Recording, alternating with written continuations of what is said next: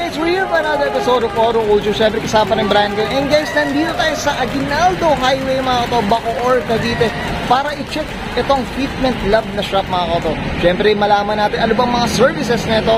So siyempre ako ay very excited na ako mga kato. So tara, check na natin.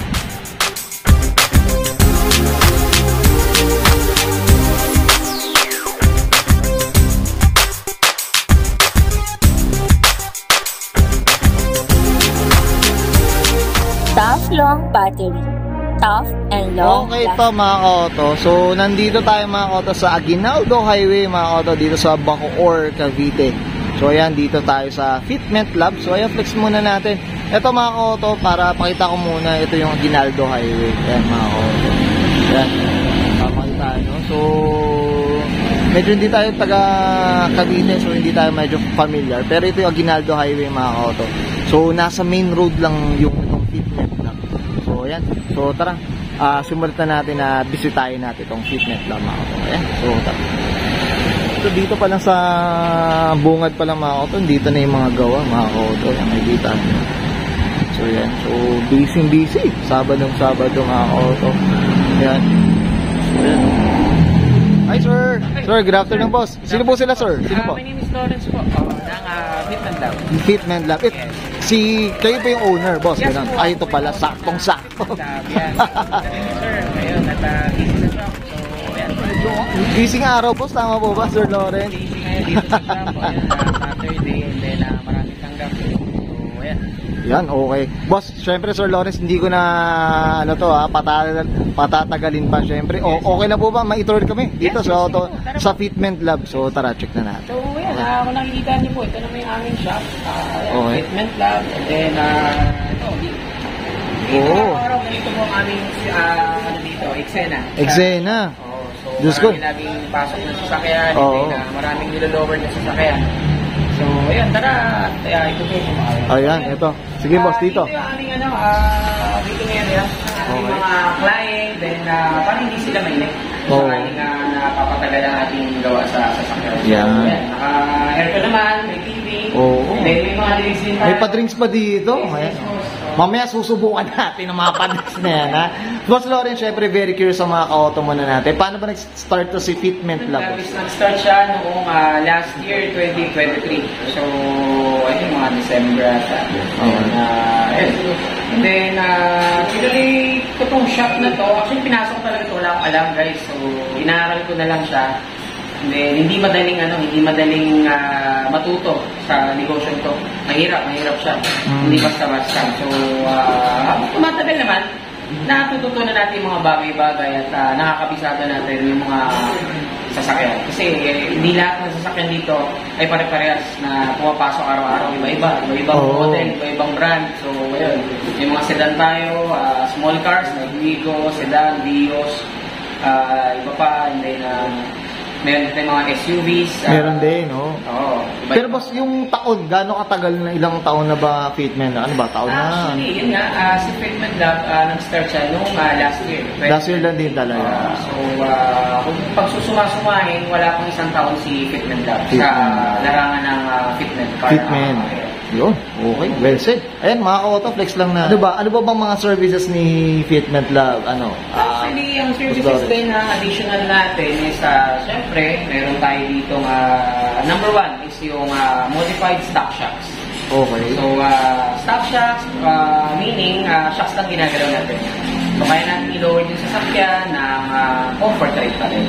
And then, additional, uh, ito, kaya ito. Okay. Merong uh, shocks dito, actually, pinagawa sa amin to ng uh, isang client natin na, yun, gumagawa rin tayo ng mga sirang coilovers. Ah, talaga. Okay. Yes, yes. Kahit Magkano naman presyohan yan, ano, Boss Lawrence, yung mga ganyan? Actually, depende po sa sira. Oo, Depende. Pinakang uh, ano natin, starts natin sa mga ganito is uh, 3.5. 3.5. Oo, sa coilovers. Ilang, ano yun, bali apat na yun, apat na. Hindi po. Ang isang peraso. Isang peraso. Saka depende pa rin sir kasi minsan yung iba Oo. talagang sira na eh. Sira na siya yung uh, kaloob-looban Oo, ito kailangan na. So, ayan guys, kung kailangan nyo ng mga uh, nag-aayos ng uh, coilovers, pwede nyo rin dalhin. Pwede. Yun, ayos. Okay. Okay.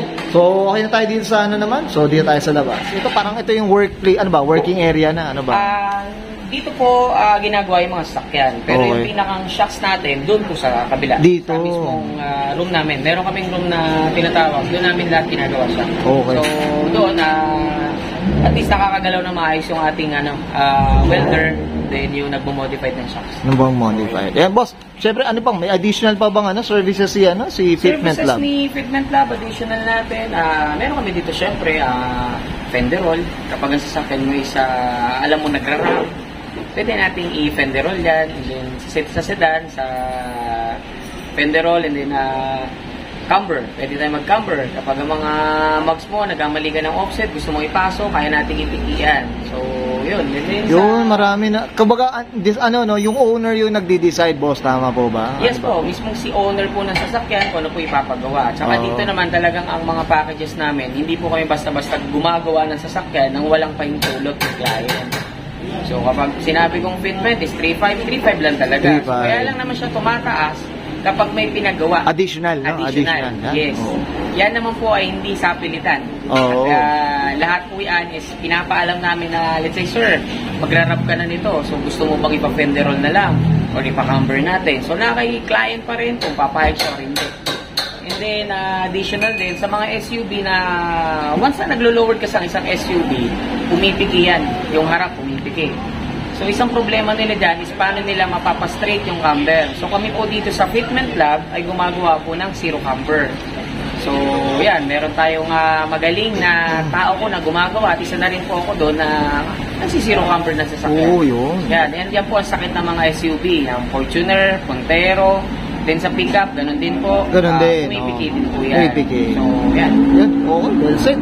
Ito, anong ginagawa naman dito, boss? Ah, sir, ito actually, ah niluluward namin siya. Actually, kakatapos lang natin gawin. So, ang ah, pinakang hahabol na lang natin sa kanya is Okay. itong fender niya.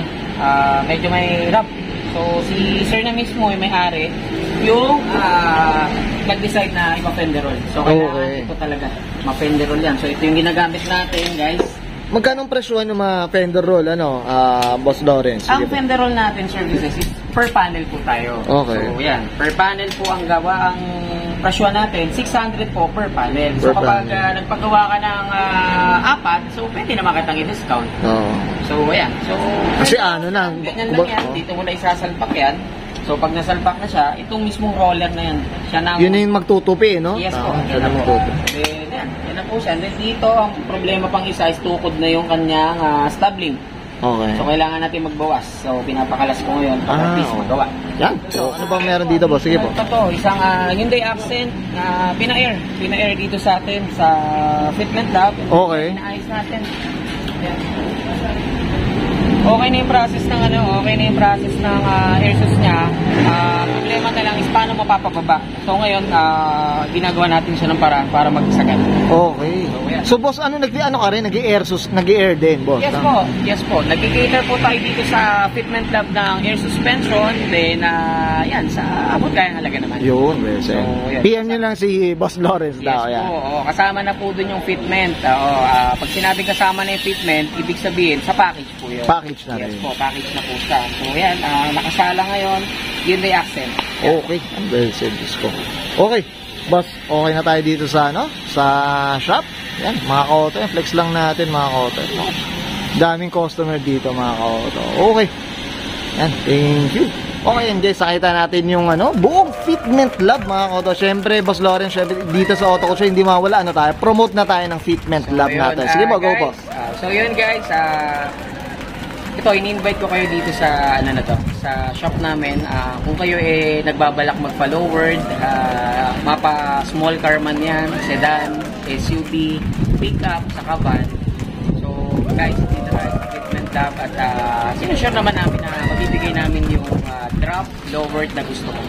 And then, ah, yun. Ah, meron din kaming Facebook page, meron din kaming ah, Instagram, and then TikTok. Ah, you can search na lang sa Facebook page, uh, Fitment Lab ah, South.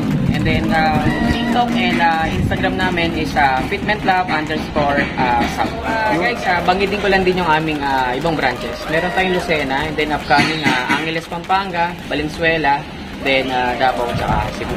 So, yun, ah, soon makikita nyo na yan na magbibigay ng services sa kanya-kanyang areas. Yun, well said. Okay, okay. So guys, susubahin ko na and Lawrence Mendoza para siya bell. Owner ng Fitment lang mga koto dito sa Aguinaldo Highway, Bacoor, Cavite. And this is Oro Culture.